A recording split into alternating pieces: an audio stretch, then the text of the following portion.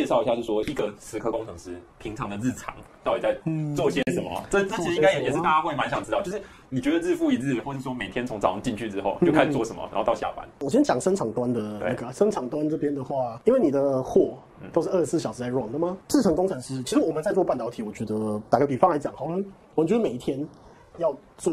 一千盘炒面这样子，我每天要做一千盘炒面，一一千盘长得一模一样的炒面。对，那面的根数要一样，对，面的面的根数要一样，长度要一样，然后它的咸度也要一样。然后它它不它它它的精准到，比方说面的长度可能一根，比方说二十公分好了，也许我们可以允许的范围是十九点九九，呃，不不，对对对，比方说十九点九，OK，十九点。八九就不行，这样子。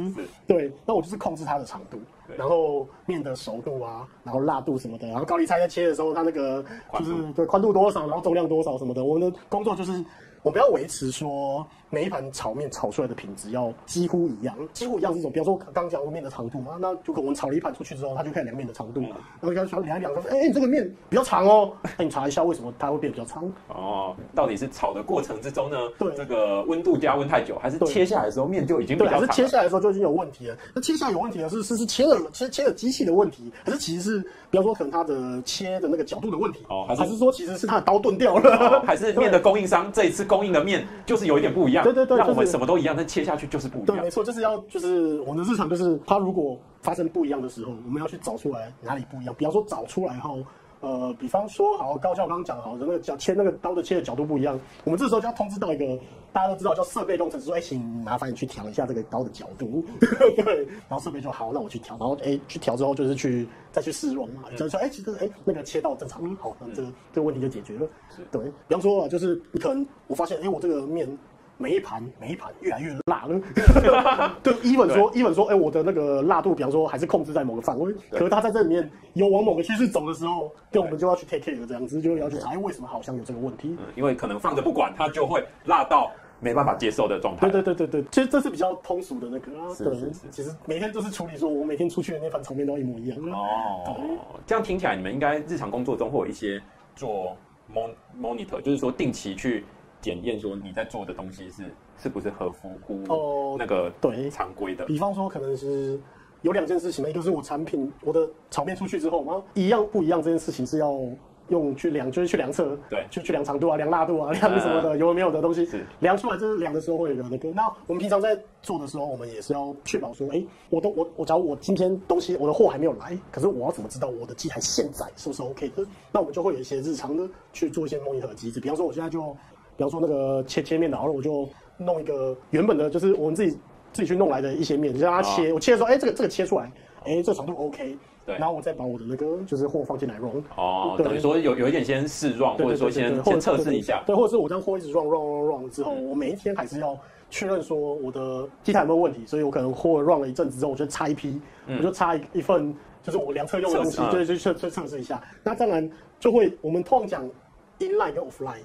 Inline 的话就是我实际产品测出来就是 offline 就是我对机台的一些日常的一些模拟，可能额外的，对，非非生产线上面的。那就是除了像像刚刚讲，除了我们要维持 inline 就是我们出来产品的问题之外，我们要确认我们的机台在处于一个稳定可生产的范围。对，是。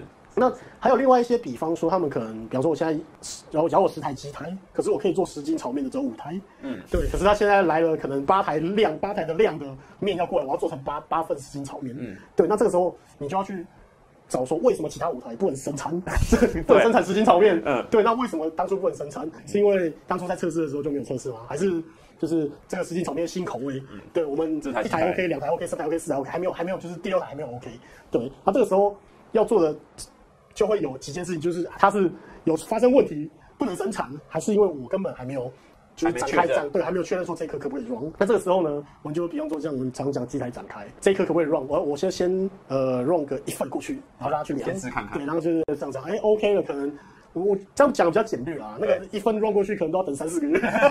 对对，然后等对以那个专业一点就要讲，你要讲你要等那个 W 电信，然后得等那个它的良率出来。对对，然后这一台，哎，我觉得 OK，然后放出来。那我下一次遇到我要生产这么多份的时候，我就多一台可以周转。对对，那是等于说我要管理整个产线上正常生产跟应付它的产，我说产能，嗯，应付产能跟需求。嗯，对，这大概就是十二生活是每天做的。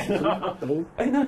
以以前你们在产线里面是说整个部门大概会有多少人？像在十科的部门的话，然后每个人是雇多少台机台？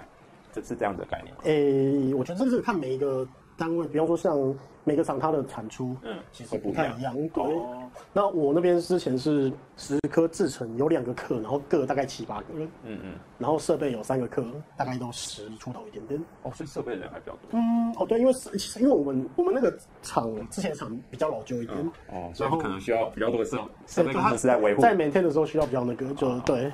因为我我我有听说，像台积的话，他们一个部人是数量是蛮多的，这是真的吗？一个部的话，比方说像我们刚刚十颗布对好了，你这样加一加，其实也六七十个跑不掉了？哦，所以所以等于说，说一个部经理大概就在管理一个大概六七十人的小公司那种感觉。哦是其实六七十人我觉得应该要算中型的。对对，其实不少，所以我觉得这种公司规模越大的，其实它那个它的那些就是上面的责任其实是越来越大的，所以有的时候真的要稍微体谅一下你的老板跟老板的老板为什么要这么、对 这么着急，对，为什么这么急，这么的对对，因为他们其实身上是背了蛮多的责任在上面的，嗯而且这个责任是你很难去想象的，就是你心情很差的也是工作一天，心情好一点也是工作一天，嗯所以你这是。除非你就是说，哎，老子不干，因为不然的话，你今天的工作还是要做。妈的，你就尽量，只能说尽量嗯让自己是正向的 想法。对对对对对对对对。